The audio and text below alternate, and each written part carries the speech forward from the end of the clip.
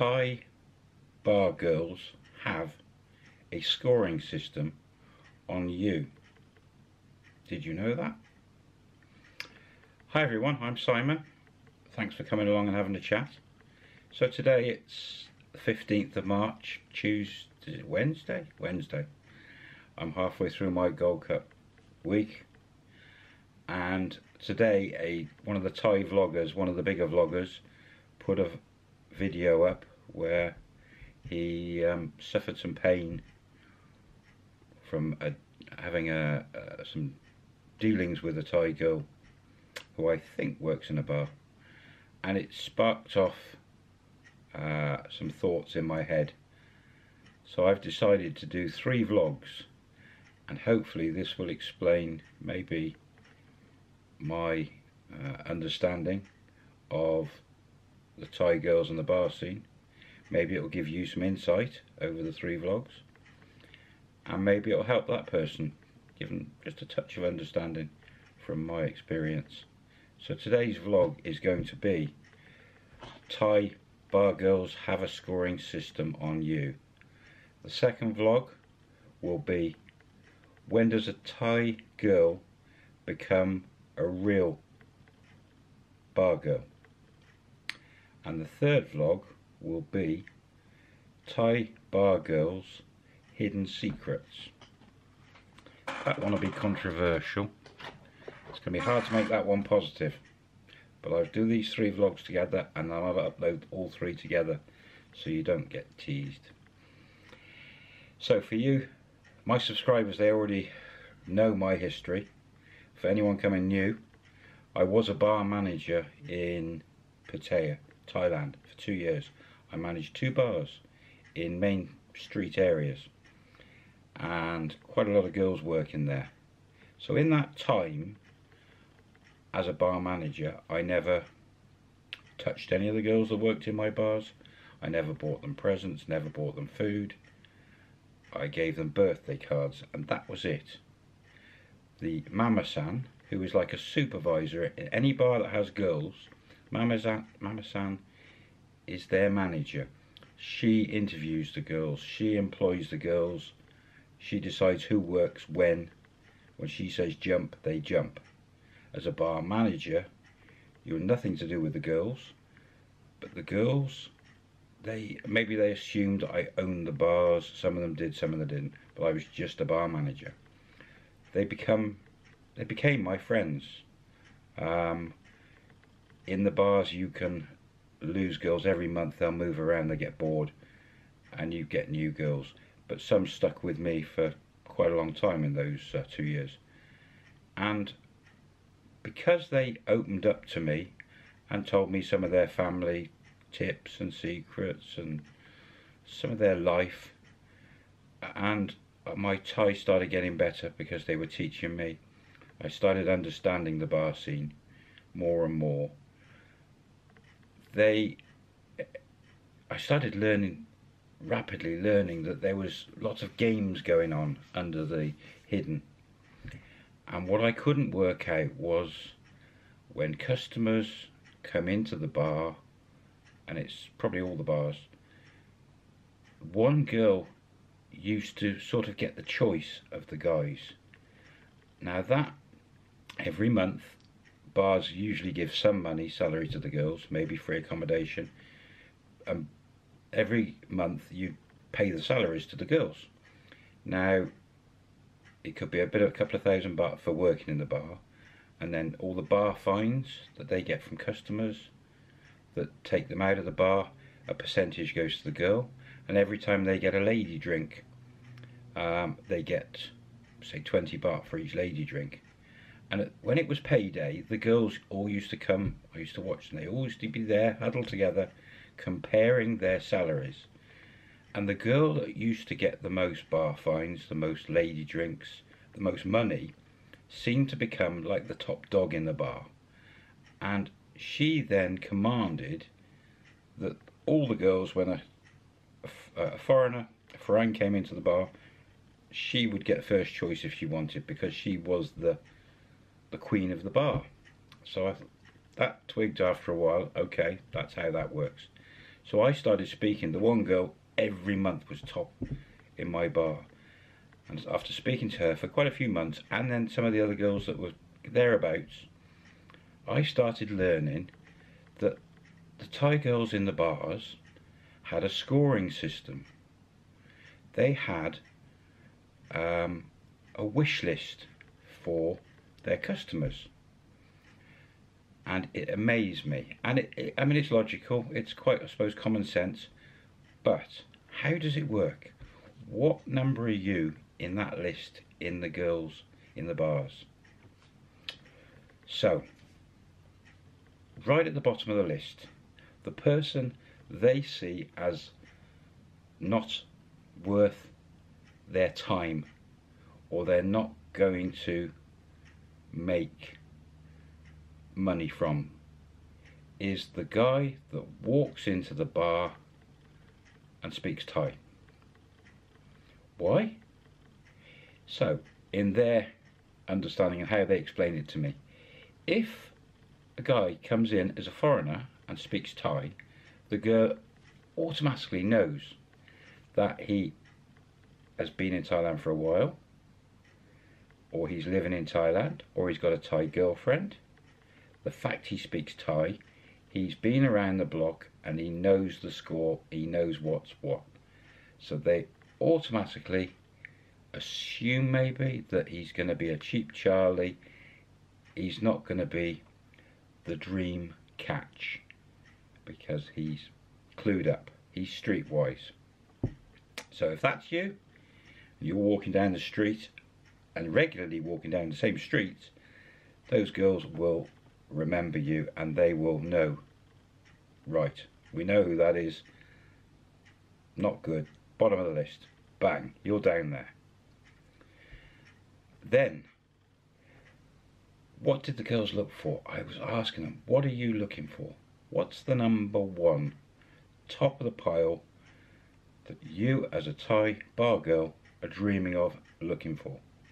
And nearly all the girls wanted to get out of the bar. They wanted a partner, they wanted someone to take care of them, they wanted someone with a bit of money that was going to maybe take them out of the country to another country, raise their status level up, give them a new living, look after their family, and be nice to them, take care of them, treat them properly. They're looking for that. But how do they spot that perfect partner? Now, one of my customers, very tall guy, had money, uh, American, worked for a big sugar company, came into my bar and the girls within seconds were all over him like a rash. And in fact, every bar walking down the road, the girls were on him. And when I talked to the girls about this, they explained why. If you walk down the street into a bar and you don't speak any Thai whatsoever, maybe you speak one word, sawasdee krap, maybe you can't even say it properly, but you can't speak Thai, the girls immediately click, click, click. This guy could be here first time in Thailand. This guy doesn't know any Thai. Then, your appearance. If you've got a tailored shirt, a, a shirt with a collar that you haven't bought in Thailand, and they can tell if that shirt you're wearing is made in Thailand. If you've had it tailored in Thailand, you've already been there two or three days, so you've dropped down to one and a half, number two maybe. But if you're wearing a shirt, short sleeved, but smart shirt, and shorts that are not necessarily tailored, but maybe a 30 40 dollar shirts uh, shorts you know 30 pound 20 pound but quite smart shorts. The girls will see the shirt they'll, they're going to see the shorts or if you've got long trousers on they're going to see that and it's smart. They'll then look at your shoes. Now if you've got flip-flops on you're going down the list if you've got socks and sandals on, we've all seen the guys, the sh smart shorts, smart shirt, socks and sandals, you're going up the list. Then the colour of your skin. If you're showing that you've caught the sun for a week, you know, you're going brown, again, you've been in Thailand a week. They know, bang, you're not white, you're not, you know, you're not pale. I mean, like my wife, if you're half caste or, or dark skin, they'd be like, mm, not sure how long you've been here. If you're red, you're burnt. Mm, he's only been here a couple of days. The skin colour, you're just going to drop down slightly, maybe to one and a half, number two, until they can suss out. And you come in the bar then, smart shirt, shorts, sandals, socks, shoes, some nice shoes, and you don't speak Thai, bang, it's a lottery win. It's the jackpot. They look, this person has never been to Thailand. They've no, no idea what's going on. The girl in the bar that's the number one girl is immediately going to be on to that, to you. Straight on you. You're a number one. Potentially the life-changing guy. And I saw this with this gentleman that came to my bar and he would have been the perfect catch. Now, if you're that man, or you're not that man, but you want to try this experiment, you put a nice shirt, shorts and everything, you go down and don't speak Thai in the bar, you see what happens. You see if I'm right, and you will get a different reaction from your clothes and not speaking Thai in the bar. Totally different reaction. And I couldn't believe this from the girls. I started to understand, right, that's what they're looking for. They're scoring people by just the clothes, their look. You're going down a soi, say in Pattaya, you're 200 metre soi with 50 bars. All the girls are clocking you coming down and they're looking at all the different guys. You're living there, you're an expat, you see this, you sit at the bars and watch. You can see which guys are coming down, which are new, never been to Thailand. And you, you, they just stand out a mile. And the girls are looking for number ones. Little deviation. Sometimes I noticed the girls in the bar would go, a young boy would come down, 18 to 24. Maybe a backpacker, maybe not. But no shirt, six pack, good looking guy. And the girls would, interest would perk up. And my, the one girl in my bar, the she grabbed one young guy once, and I said to her a couple of days after, why? Well, she, she's a woman. She does like sex. This young guy, great body, slim chance he's got money, maybe not, but she was going to have some fun. And that day, maybe things were quiet. Bang. She grabbed a young guy for fun. So there's a little bit of a twist on there. So it is true, there is this scoring system. The girls are looking for somebody to take them away from the bar scene. Now the other thing, bar girls tend to be between 20 and 30 years old. In their eyes, when you get to 30, you're pretty much on the shelf and past it unless you're stunning. So you start noticing the older girls, 30, 29, 30, up a bit, will step back in the bar and they'll be more like service girls. Now they don't get bar finders much, but they can still make a living on just lady drinks. Every drink they're getting 20 baht kick, 20 baht uh, salary for every lady drink. And it can add up, you know, five drinks a day, uh, every day of the month, it, it adds up to a few thousand baht. And it also makes the bar look like there's more people in there. So, but those girls do come to the back of the bar more often.